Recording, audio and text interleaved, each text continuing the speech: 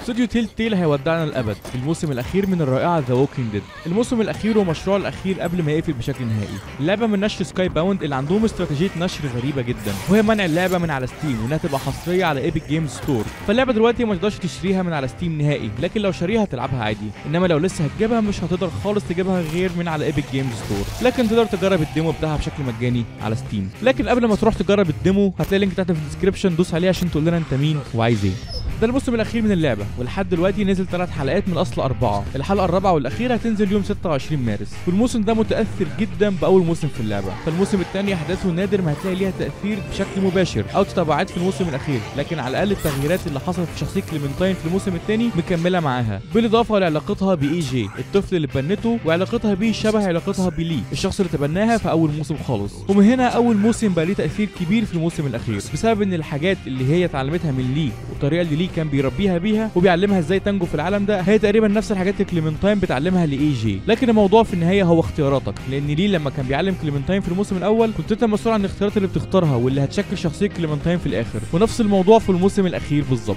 لو عندك ال save file بتاع أول موسم وتاني موسم على جهازك أو على حساب Telltale بتاعك اللعبة هتكمل على اختياراتك في المواسم اللي فاتت. ولو مش عندك في بداية اللعبة كليمنتاين بتحكي ملخص الأحداث بتاعت الجزء اللي فات والملخص ده هيكون على شكل اختيارات سريعة أنت بتعملها. هيكون ليها تأثير في أحداث اللعبة بشكل كبير. جدا.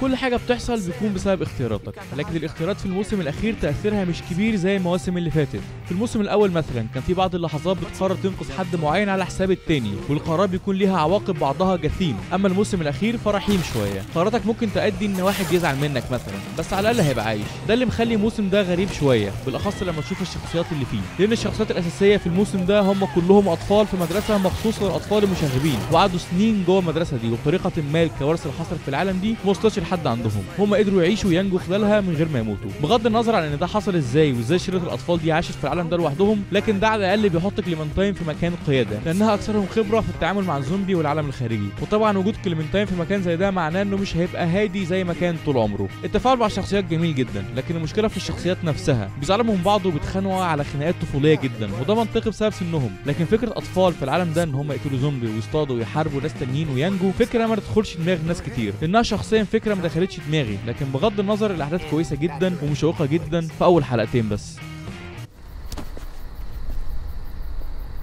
They're pretty good with the monsters. Come on, y'all. Food's AJ! الحلقة الثالثة هي مجرد حاجة يملوا بيها محتوى عشان يربط أول حلقتين بآخر حلقة، وهنا إحنا بنتساب في نقطة صعبة جدا، لأن الحلقة الثالثة سابتنا متعلقين وادتنا فكرة كويسة عن أحداث الحلقة الأخيرة، لكن ما نقدرش بناء عليها نحدد إذا كان الموسم ده قوي بمستوى الموسم الأول ولا هيخيب الظن، لأن لحد دلوقتي الثلاث حلقات اللي نزلوا بيبنوا للحلقة الأخيرة، أول حلقة بتسيبك متشوق للحلقة الثانية، الحلقة الثانية بتجاوب على أسئلة كتيرة وحصل فيها أحداث كتير مهمة جدا، إنما الحلقة الثالثة شبه ما كانش ليها لازمة قوي غير شوية في الآخر لأنها بدأت تبني للحلقة الأخيرة، واللي سابتنا برضه متشوقين للحلقة الأخيرة بشكل كبير جدا. فالموسم ده لحد دلوقتي هو نص قوي ونص ضعيف وده هيتحدد بشكل نهائي يوم 26 مارس لما الحلقة الأخيرة تنزل إذا كان الموسم يبقى قوي أو ضعيف. ونودع استوديو Telltale بشكل نهائي. فاستنوا مننا review للعبة وقتها وكده نكون وصلنا لنهاية الفيديو بتاعنا. ما ننساش تقول لنا أنت مين وعايز إيه تحت في ال description ويا لو عجبك الفيديو تعمل like لو أنت جديد في القناة أول مرة شفنا تشرفنا تعمل subscribe لحد الفيديو اللي جاي. سلام.